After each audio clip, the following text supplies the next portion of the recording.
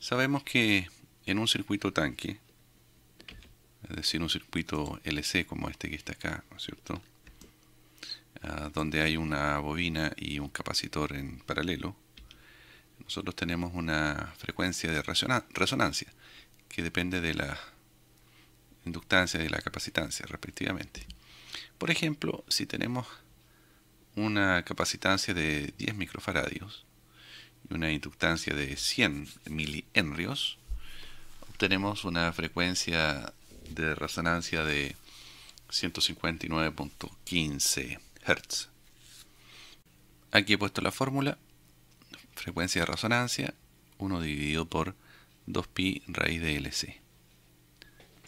Entonces anoté aquí yo la inductancia y la capacitancia y para recordarnos anoté aquí la frecuencia en Hertz, que es la frecuencia de resonancia. Y para ilustrar ese punto he construido el siguiente circuito, muy simple. Tenemos acá un generador de señales o de funciones a una cierta frecuencia. Por ejemplo, voy a partir acá con, con 100 Hz una frecuencia sinusoidal de un volt de amplitud y sin desfase. Ahí está. Esta señal, ¿cierto? Va uh, enfrente a esta resistencia de carga de un kilo ohm y aquí está el circuito resonante. La bobina efectivamente tiene los 100 uh, milihenrios y el capacitor acá tiene los 10 eh, microfaradios. Acá está la, Tierra y tengo acá tres instrumentos de medición. El primero es un bode plotter que nos va a entregar directamente la frecuencia de resonancia. El bode plotter. Tengo acá un osciloscopio que nos va a mostrar con mayor claridad la forma de la señal y también su amplitud y acá lo más simple un voltímetro de corriente alterna que nos va a indicar rápidamente cuál es la frecuencia. Perdón cuál es el voltaje cuál es el voltaje eh, cuando nosotros vayamos variando esta frecuencia. Yo voy, voy a ir cambiando esta frecuencia y al acercarnos a la frecuencia de resonancia el voltaje o la amplitud tendría que ir incrementándose hasta llegar a un pic y luego tendría que descender. Entonces vamos a ver el bode plotter aquí rápidamente. Vamos a correr la simulación. Muy bien, y el bode plotter nos indica aquí que se tiene un máximo,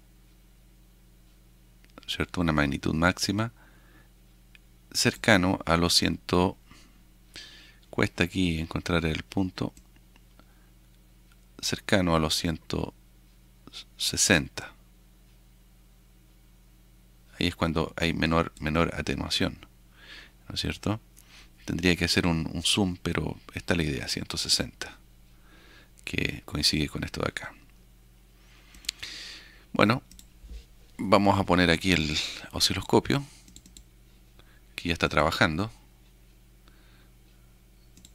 Aquí está trabajando el osciloscopio y vamos a poner el multímetro. Muy bien. Adicionalmente, aquí a la derecha he puesto una planilla de Excel que nos va a permitir ir anotando los datos para llevar el registro y ver si obtenemos un gráfico similar al del bode plotter. Entonces vamos a comenzar a simular con eh,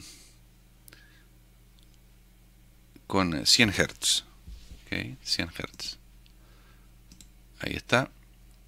Entonces, con 100 Hz tenemos un voltaje de 145.146 aproximadamente milivolts. Vamos a aumentar acá a 110. Puede verse que aquí aumenta levemente. Tiene que estabilizarse un poquito pero aquí se ve claramente que aumentamos a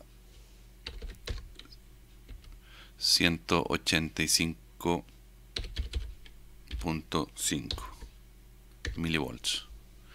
El voltaje incrementó al aumentar la frecuencia. Nos estamos acercando a la frecuencia de resonancia. Vamos a aumentar un poquito más a 120